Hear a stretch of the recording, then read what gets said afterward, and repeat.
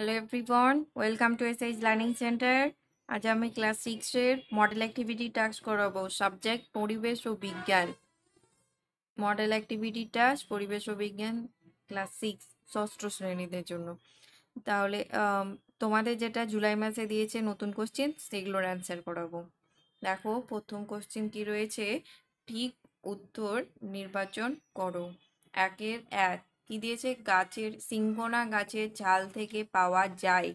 রজন, quinine, rubber, আঠা। এটার answer হবে কুইনাইন। কুইনাইন লিখে দিবে। তারপর, কৃষিক্ষেত্রে সার হিসেবে যা ব্যবহৃত হয় তা হলো নুন, ম্যালাথায়ন, কার্বারিল, ইউরিয়া। এটার অ্যান্সার হবে ইউরিয়া, ঘ।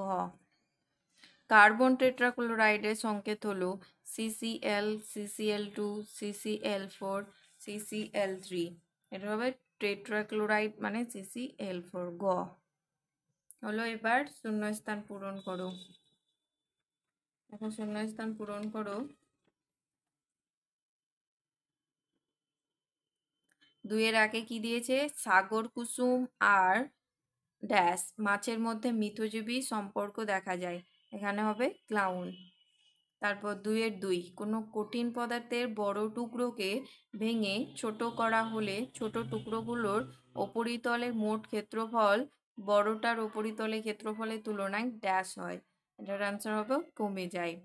তারপর দুইয়ের তিন, রান্নার বাসনের হাতলে প্লাস্টিকের আস্তরণ দেওয়ার কারণ হলো ধাতুর চেয়ে প্লাস্টিকের তাপ পরিবহনের ক্ষমতা ড্যাশ কম। তারপর তিন নম্বরে কোশ্চেন একটি বা দুটি বাক্যে উত্তর দাও। তিনের এক, বিভিন্ন প্রাণীদের থেকে জামা কাপড় তৈরির উপাদান পাওয়া যায়। উদাহরণের সাহায্যে ব্যাখ্যা করি উত্তর, আমরা ভেড়ার পশম পাই যা থেকে শীতকালের জন্য পোশাক তৈরি হয়।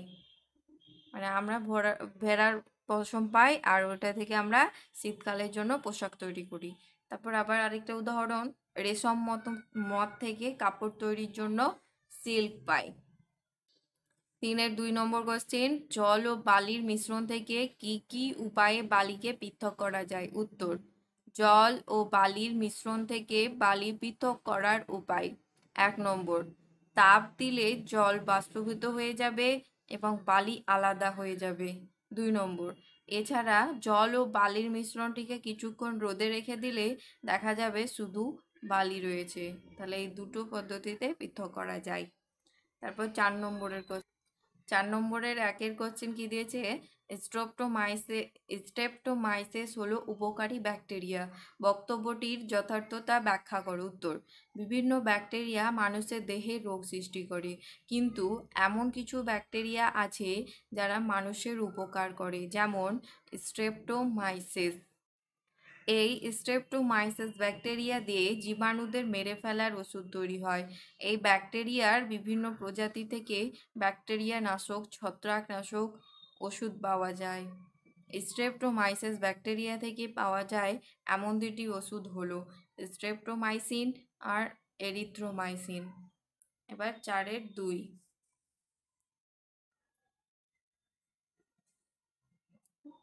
চারের দুই কোশ্চেন জলে দ্রবীভূত হওয়ার পরে নুনকে সেই দ্রবণ থেকে ফিরে পেতে হবে।